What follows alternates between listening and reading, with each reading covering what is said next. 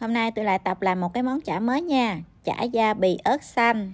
Nghe cái tên là thấy hết nguyên liệu trong đó rồi đó. Thì gồm có là da heo, ớt xanh, tiêu với lại giò sống. Đơn giản, không có gì phức tạp hết trơn à. Da heo này á, là tôi mua da bụng Người ta nói ăn da bụng á, nó mới ngon. Mà tôi mua trúng cái da heo non, cái da heo già. Một cái trắng tươi, còn cái thì nó hơi đen đen.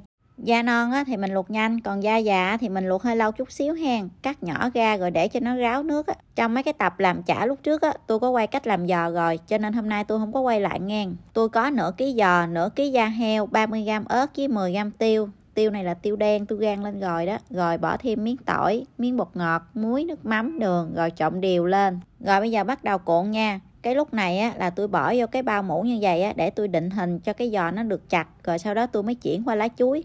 Lá chuối á, thì tôi nhớ trét miếng dầu để cho nó không bị dính. Người ta nói á, là bỏ vô ngăn đông để bảo quản lá chuối. Không biết có đúng không nữa. Rồi bây giờ hấp trong vòng khoảng 40 đến 45 phút á, là cái chả của mình nó chín rồi đó. Rồi bây giờ tôi sắc ra nha. Không biết nó ra sao nữa nè.